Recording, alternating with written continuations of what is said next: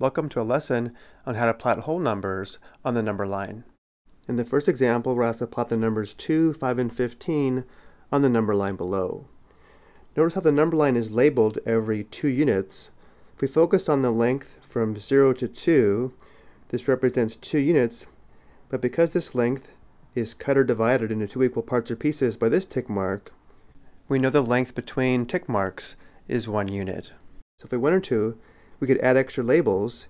We would have 0, 1, 2, 3, 4, 5, 6, 7, 8, and so on.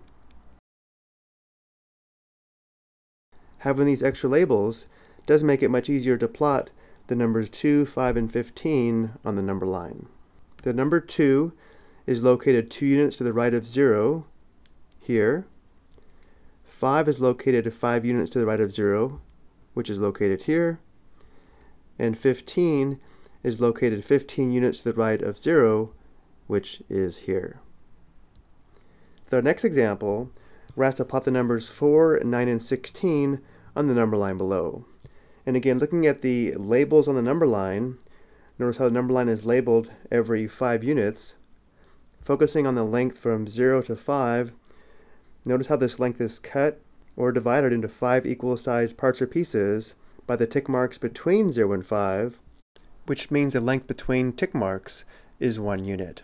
And again, if we wanted to, we could add extra labels. We would have 0, 1, 2, 3, 4, 5, 6, 7, 8, 9, 10, and so on.